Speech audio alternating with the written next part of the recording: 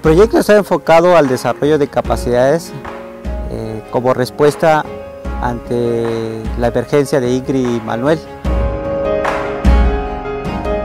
Sabemos que son golpes que eh, nos da la naturaleza, pero que también eh, nos, nos ayuda a recapacitar, a reconsiderar nuestra forma de organizarnos, de vivir, de plantear qué tipo de sociedad estamos construyendo.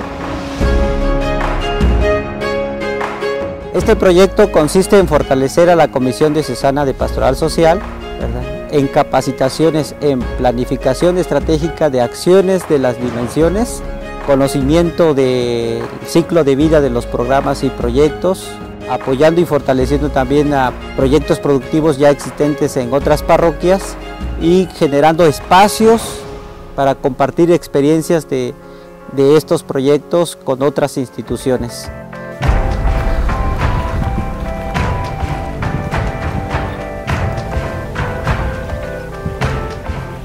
Se formaron 15 grupos de trabajos, 4 de, de pollos de engorda, 10 de, de lechones y un, uno de cultivo de hortalizas orgánicas.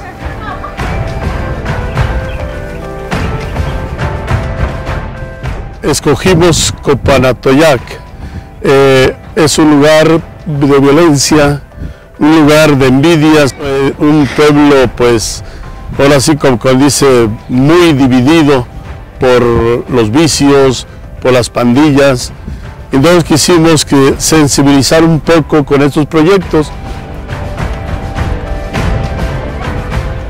Eh, son 109 beneficiarios, la mayoría mujeres, mujeres indígenas náhuatl, y se capacitaron en trabajo común organizado, eh, cuidado de las aves, cuidado de los lechones y cultivo de las hortalizas orgánicas. porque yo, yo para checar, para ver si funciona o no, entonces yo este, aparté mi mazorca, aparté la mitad de este terreno, yo puse este, la mitad de abono orgánico y la, la mitad de este, el, el, abono químico.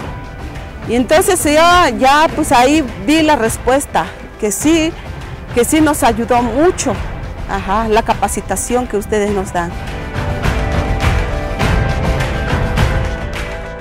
en grupos porque así aprendes muchas cosas y así compartes, compartes este lo, lo que aprendes. Porque si no lo trabajas así en grupos, pues entonces no, no tiene caso que aprendas cosas y que no lo compartas con los demás.